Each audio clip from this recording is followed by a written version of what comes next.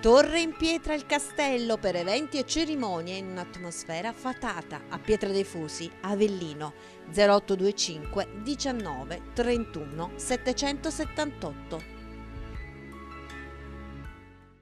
Nel giorno dei morti i crisantemi resuscitano e sembrano più accessibili per le tasche dei consumatori. Nel caos dei caro prezzi per lampade e parcometri, i fiori, in questo caso anche i ciclamini, danno respiro ai cittadini impegnati in questi giorni di commemorazione nel ricordo dei propri cari. Rispetto agli altri anni, quindi è, È un prezzo che è quasi calato. del, quasi del 50%. Ah, come se lo spiega? Si spiega perché la temperatura è stata buona, la roba è uscita, non è macchiata, è bella. Quest'anno abbiamo fiori belli a prezzo buono perché c'è l'abbondanza.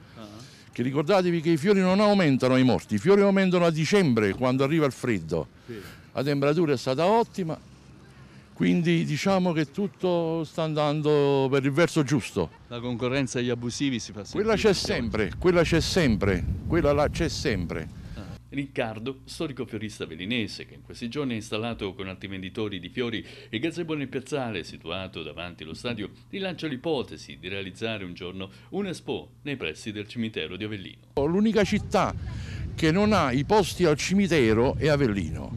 Cioè noi fiorai che vendiamo di questo periodo, oppure tutto l'anno, i tre giorni che si va in fine settimana, dovrebbero avere dei chioschi al cimitero. Il comune purtroppo non, non lo fa questo, allora ci dobbiamo adattare dove troviamo un poco di spazio per poter svolgere la vendita alla meglio.